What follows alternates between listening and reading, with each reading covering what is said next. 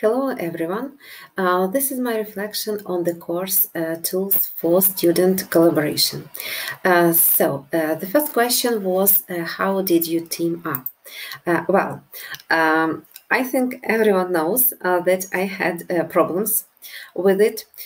first of all, I, um, I joined a team uh, in week one, everything was okay, but um, then when I had to do the task, I saw that um, all the members uh, became inactive. So I couldn't uh, do the task anymore as a team. And uh, I uh, did uh, one task on my own. then, um, then I joined Zombies.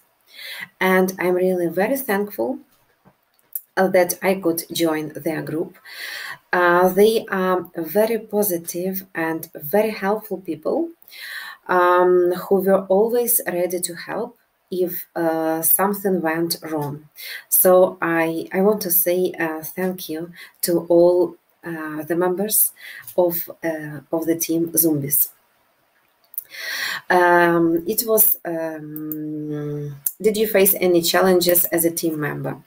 Uh, well, no, because I had uh, such uh, great uh, team members, I didn't face any challenges, and um, everything was very uh, easy to do as a team. Uh, we also communicated offline. we had um, we joined WhatsApp, and there we could communicate with each other if somebody had any questions. Uh, what challenges do you expect your students to face? How will you deal with them? Well, um, I expect uh, that um, they will have to get used to work as a team uh, because it's not easy. Uh, when they work individually, uh, they see directly their own results. But in a team, they are responsible for each other. And this is something they have to learn um, they cannot um, they cannot um, fail because they work in a team.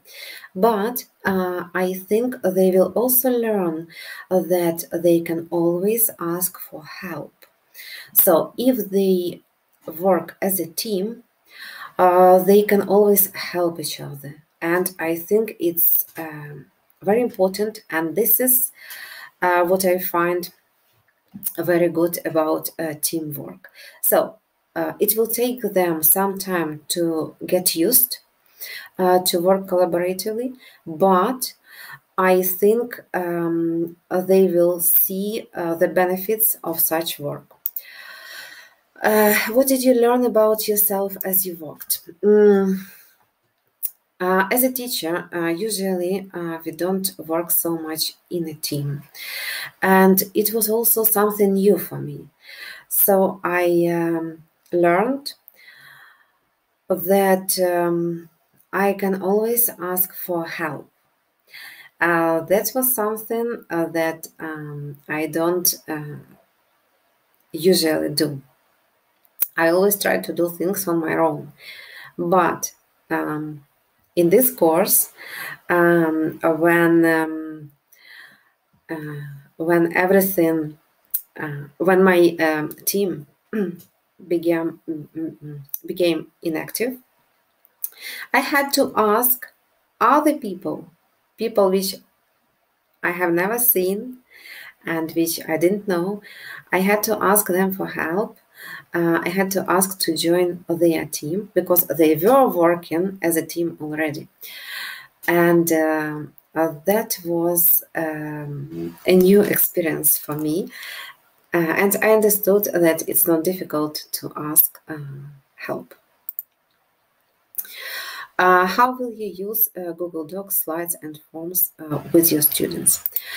well, um, I will definitely use it uh, with my students. So what can we do? Uh, we can do a lot of different tables.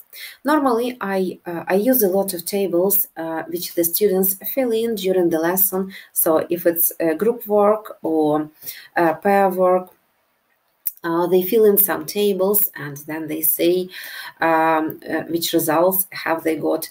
But here with uh, Google Docs, uh, I don't need to print uh, all these papers. Uh, they just can do it online and um, it is much easier for me. so they can take any topic of the lesson uh, I can create some tables and then they uh, fill the tables in and um, they have a lot of time for discussion of their results. Also, um, uh, they can uh, do some uh, presentations together. So, for example, uh, several students uh, can work on uh, their presentation and then we choose um, the best presentation of the group. So you can do a lot of different activities. And I'm really very thankful to Dr. Nelly and moderators uh, for this course. Uh, I have never used uh, a lot of online tools before, uh, only some of them were uh, familiar to me. And uh, I think that I will take my time to learn more about um, all these things and I will definitely use them uh, during my uh, lessons. So I'm uh, very thankful to everyone and um, I'm very happy that I took uh, this course. Thank you for your attention.